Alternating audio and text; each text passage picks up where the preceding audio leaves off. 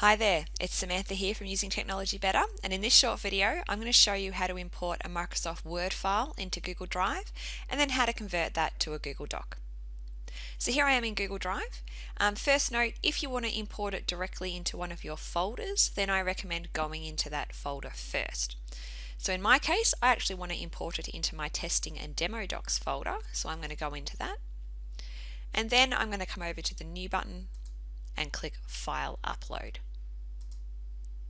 At this point, I can choose the location of the file and grab it. So I'm actually got a file on the desktop ready to go. So you'll see here training report. and Open that and you'll see in the bottom right corner it's starting the upload and it's already finished. We see the green tick. So I'm just going to close that and then over here under T for training report we should see the file that I've just uploaded. There you go. And we know it's in Word format because we can see the W just like we can see the X for Excel, we can see the Google Doc icon, PDF, PowerPoint, um, Google Sheets, Google Forms, etc. So if I was to double click that now, it's just going to show me a preview of the file because it is still in Word format, so I can't actually edit it in this format, but I can scroll through and have a look at it. Uh, what I can do in this format though is I could actually add comments on the file even while it's still a Word file and those comments would then be shown in Word so that's a really good feature to be aware of.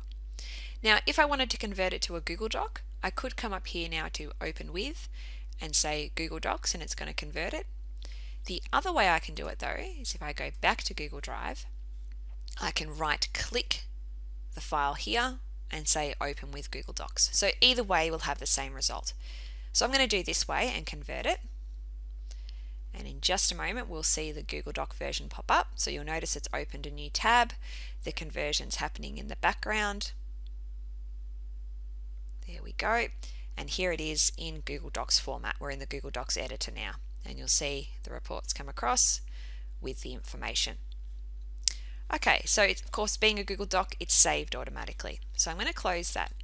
Now one other thing I want to point out though is you'll see now in Google Drive we have two files. We have the original Word file and we have the Google Doc version. So you've just got to be careful about this because if you leave the original Word file there, people may get confused and they may open that one up instead of the Google Doc and they may convert it to a Google Doc again, in which case you would end up with two Google Docs and one Word file. So just caution you if you are definitely done with that Word file, you could either delete it, um, you could put it in a folder, perhaps called you know archived Word files or something like that, or you could rename it and put the word old at the front or the end, just so there's no conversion bet uh, confusion between the two that you've from what you've converted. So there you go. That's how you upload a Word file into Google Drive and convert it to a Google Doc. Thanks for watching.